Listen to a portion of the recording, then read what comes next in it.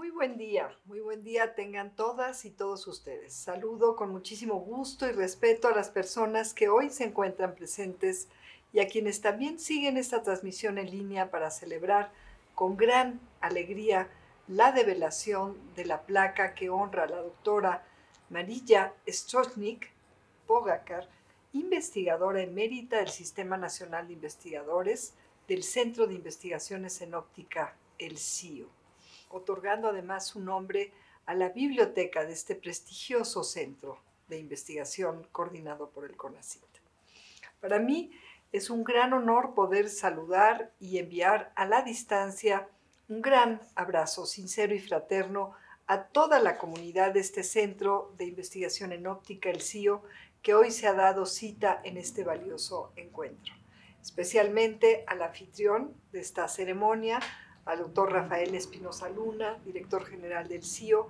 que con gran pertinencia ha logrado este merecido reconocimiento público y ha organizado este evento tan importante. Y por supuesto, con todo respeto y admiración a la doctora Marilla Strosnik Bogacar, quien ha contribuido con grandes aportaciones no solamente a este importante centro de investigación, sino también al pueblo de México, a toda la comunidad académica, a estudiantes que han gozado de su tutoría, de sus enseñanzas, con una carga de incalculable esmero, dedicación y tenacidad y también, sobre todo, generosidad que la caracteriza.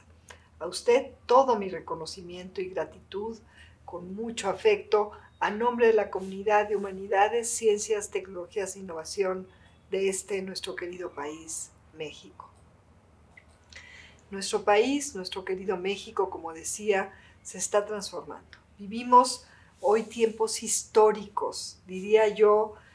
pues realmente alegres, que nos causan una gran satisfacción y felicidad a todas y a todos, en los que concurren primordialmente demandas sociales históricas del pueblo de México que hoy son acogidas por este primer gobierno de la Cuarta Transformación en acciones derivadas de políticas públicas que son orientadas a promover el fomento, el desarrollo y la consolidación e impacto social del quehacer de científicas y científicos, de humanistas, todos, todas nosotras comprometidas con el pueblo de México, con la aplicación del conocimiento a favor del cuidado del ambiente y también a favor de toda nuestra riqueza multicultural que nos da raíz, que nos da sustento, que nos da porvenir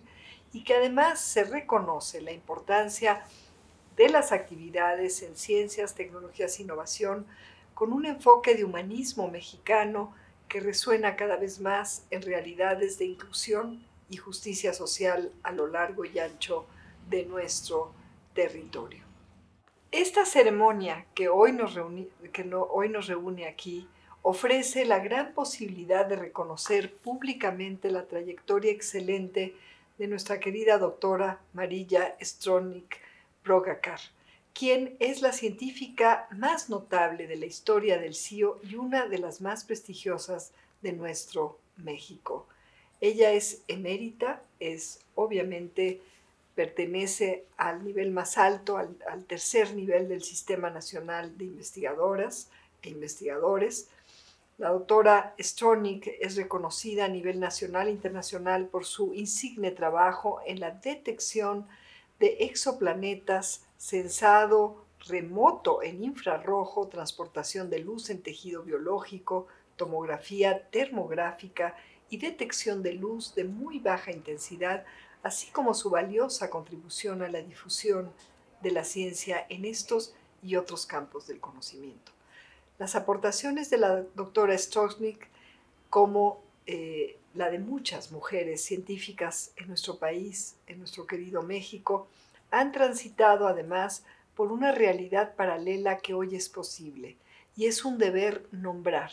una acusada desigualdad de género que si bien tiene orígenes históricos profundos y estructurales en un sistema de dominación patriarcal, de poder que ha normalizado y reproducido prácticas de marginación y rezago, rezago en todos los ámbitos de la vida sociopolítica durante las últimas cuatro décadas del neoliberalismo en México, el Estado alentó con omisiones y simulaciones una violenta espectacularización de las mujeres en la vida pública y un rezago en darles el reconocimiento que se merecen en áreas tan importantes para la sociedad como es el quehacer científico, el quehacer humanístico, el desarrollo tecnológico y la innovación.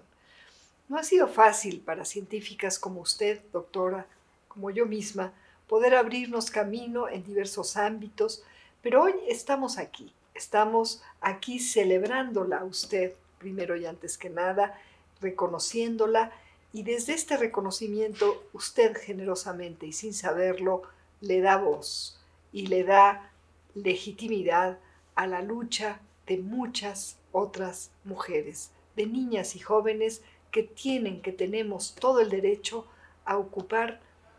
eh, posiciones en el quehacer científico que nos merecemos de una manera igualitaria con cualquier persona.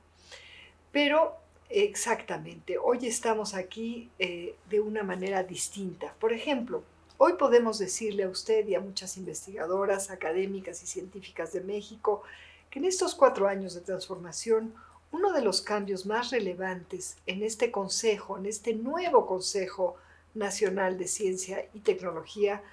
en este renovado, quiero insistir, con ACID, fue modificar el reglamento del Sistema Nacional de Investigadores para que con el proceso de insaculación, que por primera vez se ha utilizado en este año, se avanzara en la construcción de un sistema de evaluación incluyente, plural, que permita reflejar en las comisiones dictaminadoras la presencia de mujeres y hombres, la diversidad regional, institucional, etaria y también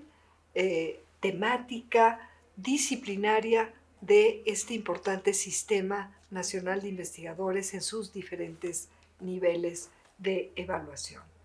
Con la insaculación logramos un mecanismo neutral, aleatorio y sin sesgos para que todas las personas miembros del SNI participen en el proceso de evaluación,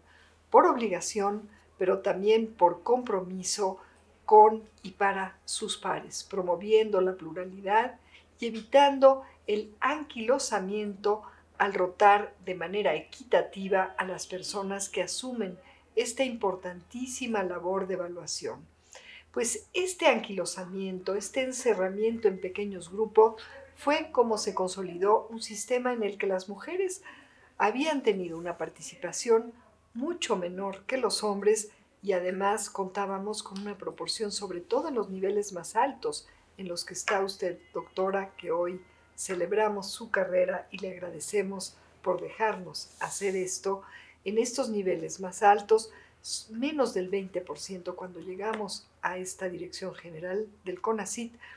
eh, estaban en estos niveles más, más altos, menos del 20%, es decir, menos de dos por cada ocho varones llegaban a estos niveles más altos, cuando de inicio hay una proporción más o menos igualitaria de hombres y de, eh, de mujeres. Entonces, solamente por el hecho de ser mujer, ya hay una desventaja o había una desventaja que estamos tratando de quitar para poder acceder a los niveles más altos del Sistema Nacional de Investigadores. Estos cambios fundamentales son solo parte de las modificaciones estructurales que hemos hecho al interior de este renovado CONACID, entre muchas otras hoy nos permiten visibilizar que la construcción y la historia de este país nunca más debe avanzar sin las mujeres de México y nunca más debe dejar a nadie atrás y a nadie fuera. Por ello, para mí es un deber, un compromiso y un honor decir y recordar que científicas de un robusto prestigio como el de la doctora Stortnik Pogacar ha sido referencia en el Museo Técnico de Eslovenia, donde presentó al público la exposición temporal Conocimiento sin Fronteras. Además, su trabajo en el desarrollo de una técnica de navegación óptica completamente autónoma, basada en el reconocimiento de campos estelares, fue merecedor del premio George Goddard de la International Society for Optical Engineering y que también cuenta con siete certificados de reconocimientos otorgados por la NASA a lo largo de su trayectoria. La doctora Stoshnik Pogacar suma más de 40 libros editados de las memorias de los congresos que preside y más de 100 artículos en revistas arbitradas por pares, entre múltiples actividades de gran relevancia que ha fortalecido con la socialización de la ciencia entre la comunidad estudiantil, su generosidad para hacer accesible a todas y todos el conocimiento, el gran conocimiento que ella tiene es un rasgo sobresaliente de la doctora que hoy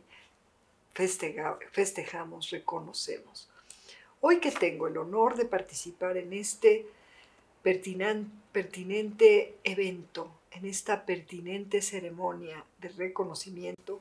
no me queda más que celebrar al lado de todas y de todos las valiosísimas aportaciones de la doctora Stosnik, ejemplo en la comunidad científica de México. Les mando un muy caluroso abrazo y a, seguir forjando desarrollo científico y tecnológico a favor de todas y de todos, sobre todo los más pobres de nuestro país. Enhorabuena y muchas, muchas felicidades